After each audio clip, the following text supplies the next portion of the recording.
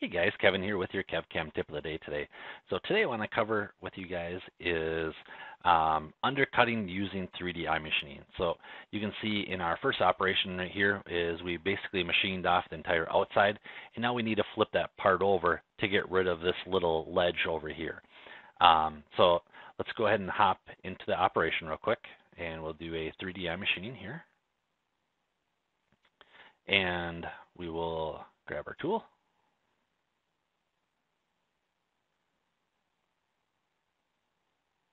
and we'll save and calculate. So now you'll see our toolpath has been calculated here, and what's happening is um, the toolpath is actually going down to the bottom of the part because it still thinks there's stock there. Well, with 3D iMachining, is it what it's happening is it's looking at the stock that's left over from a straight down in Z value. Um, so it's not going to see or recognize anything that was undercut from the previous operation.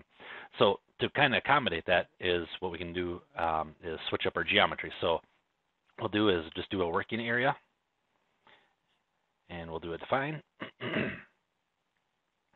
we'll chain our stock, chain our part, mark that stock is open, hit the green check mark,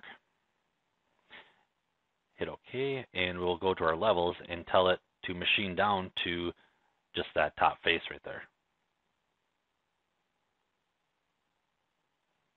All right, so now you'll see that it went right to that top face and we're not wasting that end mill going all the way down to the bottom, recutting this, or especially if we have a vise on there. So that's kind of one way to go about um, getting that in there.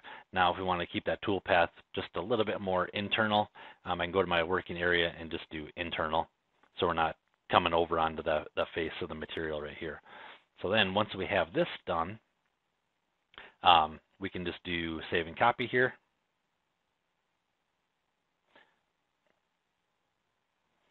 And once we have that copy open, we can just go back to our working area and shut that off. Hit OK. Save and calculate.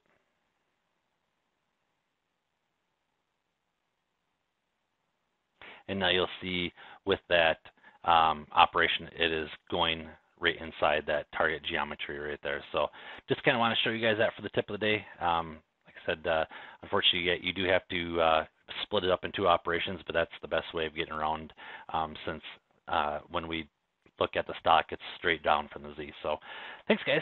Uh, we'll talk to you guys tomorrow with your tip of the day. Have a good evening. Bye-bye.